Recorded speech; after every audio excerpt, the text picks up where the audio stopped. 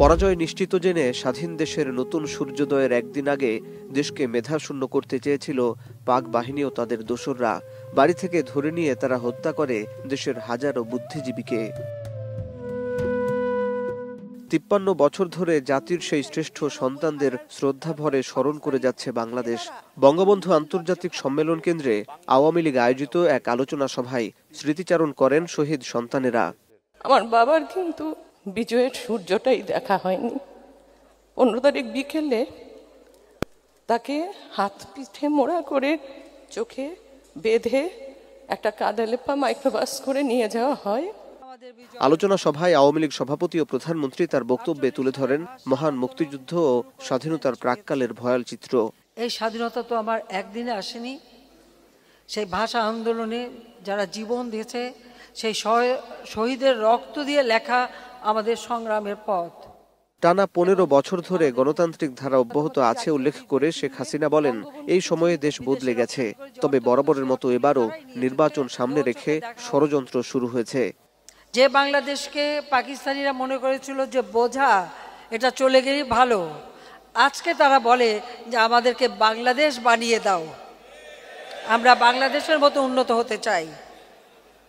আর যারা বলেছিল bottomless basket তারা দেখে যে বাংলাদেশ বাঙালিকে তো দাবায় রাখা যায় না যেটা জাতির পিতা বলেছিলেন। এখন তাদের নানা রকম চক্রান্ত শুরু হয়েছে। প্রত্যেকটা নির্বাচনের আগেই চক্রান্ত হয়। কিন্তু এদেশের মানুষের শক্তি হলো বড় শক্তি আমি যেটা বিশ্বাস করি। আর সেই শক্তি আছে বলেই পরপর আমরা তিনবার আসতে পেরেছি একটানা। এবং আন্দোলনের নামে যারা মানুষ মারার পরিকল্পনা করছে তারা দেশকে কোন গণতন্ত্র উপহার দেবে প্রশ্ন রাখেন সরকার প্রধান। আর সে এখন দূরে বসে হুকুম দেয় আর মানুষ পোড়ায়, গাড়ি পোড়ায় আর অ্যাক্সিডেন্ট করে মানুষ মারার পরিকল্পনা করে। সবচেয়ে বড় কথা হচ্ছে তারা এখন মানুষ মারার পরিকল্পনা করে। যারা মানুষ হত্যা করার পরিকল্পনা করে, তারা কোন গণতন্ত্র দেবে আমি জিজ্ঞাসা করি। এটা কি বাংলাদেশের মানুষ বোঝে না? বিএনপি নেতাদের সমালোচনা করে প্রধানমন্ত্রী বলেন, তারা ভোট কারচুপি করে জনগণের অধিকার কেড়ে নিয়েছিল।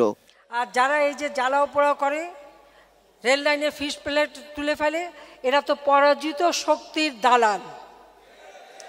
এটা মনে রাখতে হবে যে এরা হচ্ছে পরাজিত শক্তির দালাল, পরাজিত শক্তির দোষর।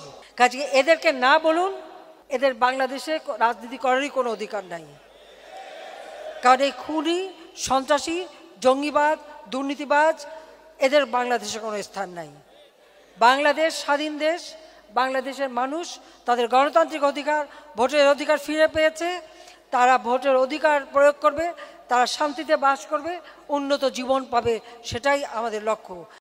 উন্নয়নশীল দেশ হিসাবে বাংলাদেশ আরও এগিয়ে যাবে আর কারও কাছে হাত পেতে চলবে না মর্যাদা নিয়ে মাথা উঁচু করে চলবে বলে জানান প্রধানমন্ত্রী শেখ হাসিনা। বিজয়ী জাতি হিসেবেই তারা মাথা উঁচু করে চলবে শহীদের কাছে এটাই আমাদের অঙ্গীকার। হাসিব সবাইকে এখন ঢাকা। ওয়ালটন ফ্রিজ কিনে পেতে পারেন দুইশো পার্সেন্ট পর্যন্ত ক্যাশ ভাউচার।